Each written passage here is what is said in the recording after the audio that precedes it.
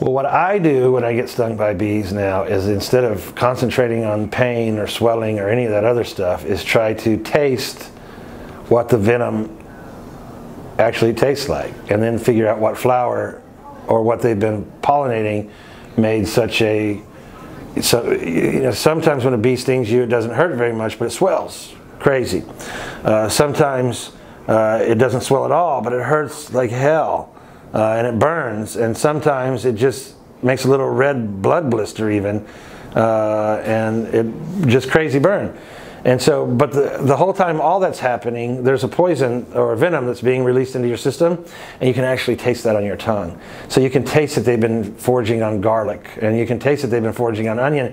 And so if you concentrate on what that venomous tastes like, which is kind of weird, but still possible. Uh, if you concentrate on what it tastes like, then the pain and all that other stuff kind of goes away into, oh, because your mind uh, knows what it's doing. So it takes it concentrates on what's what the value of the venom. Now the other thing that uh, uh, uh, bee venom does is it makes you release collagen, uh, and, which is what the swelling is all about. And when you release collagen, then those that collagen repairs uh, tendons and ligaments and stuff like that.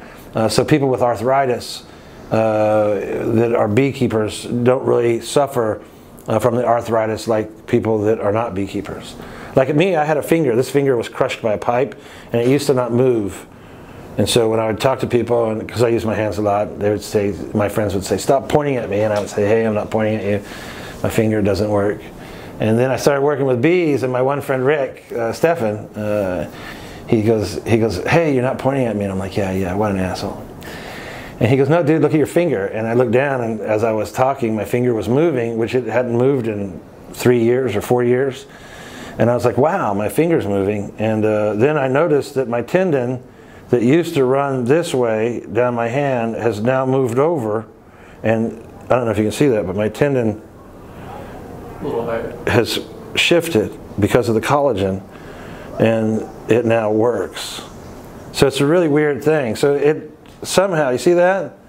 Higher. Okay, look, can you see that? Mm -hmm. So this is you would have been the tendon for that finger, but somehow this it joined into that tendon. Don't ask me how, and it works anyway. So uh, that's to me and the doctor guy who had done the stitching and all that other stuff on the finger.